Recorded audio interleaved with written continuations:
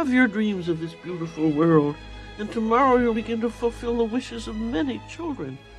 We'll make believe you're statues. The adults will wait outside as you reveal the miracle of yourselves to the young.